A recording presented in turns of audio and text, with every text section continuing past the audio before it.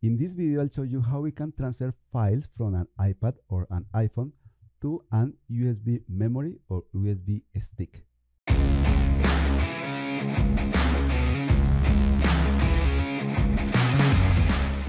Hi, I'm Marlon Ceballos and in this video I'll show you how we can transfer almost any kind of files from an iPad or an iPhone to an USB memory or USB stick. So almost two years ago I recorded a similar video to this, explained this process, but many people told me that they got an error. So in this video I'll show you the process, I'll show you the error and I'll show you how we can fix this error. The iPad and the iPhone have this kind of connector. This is a lightning connector or lightning port. This is the connector where you plug this cable, a lightning cable, and the lightning cable gives power to the iPad or the iPhone. The lightning cable can be used also for transfer files, for example, to a computer. But the iPad and the iPhone doesn't have an USB port. So, because that, we need to use a cable adapter. The only exception is the iPad Pro. The iPad Pro doesn't have a lightning connector, but has a USB connector. So, if you have an iPad Pro, this process doesn't apply to you. Apple has two different adapters.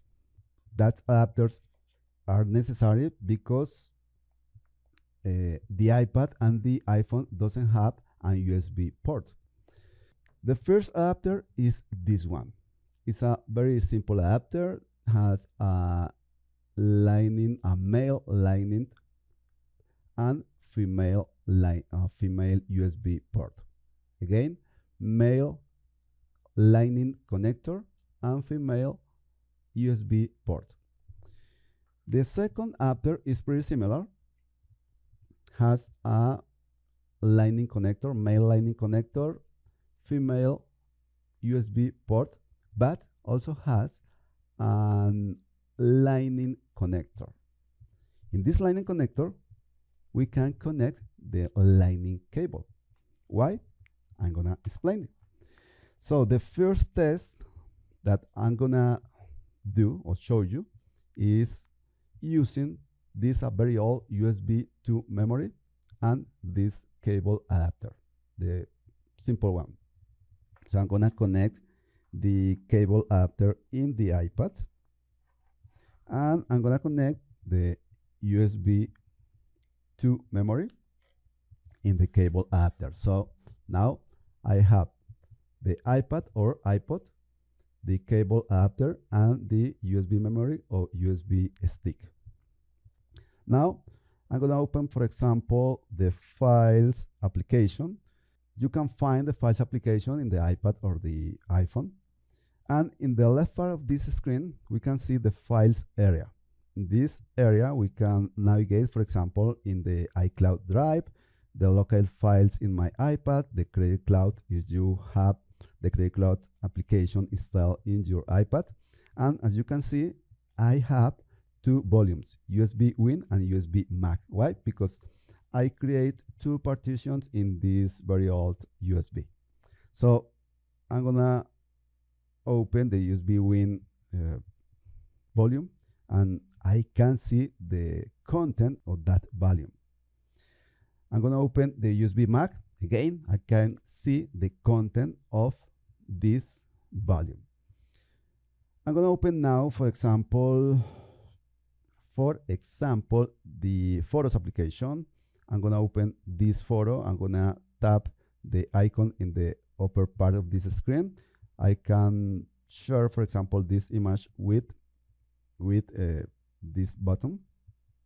And we can use, for example, a command called save to files is you touch this command so you can't save this image in this case in any volume for example iCloud Drive my iPad and also we can save this image, for example, in my USB memory. In this case, I'm gonna disconnect this memory. As you can see, we can use without problem this USB. And now I'm gonna connect this memory. Remember, this is an USB 3 memory. And mm, this kind of memory needs more power. So this is the problem that I'm gonna show you. So I'm gonna connect this USB 3 memory using the cable adapter. And when I connect this memory, as you can see, we get this error. Cannot use accessory. This accessory requires too much power. Remember, USB drives or USB stick memories needs more power. So the iPad or the iPhone, they can give the enough power to the USB. That's why we need to use this accessory, this cable adapter, because this cable adapter, remember, has the lightning port and we can give po uh, power using this cable. So I'm gonna disconnect this cable adapter. I'm gonna connect this one.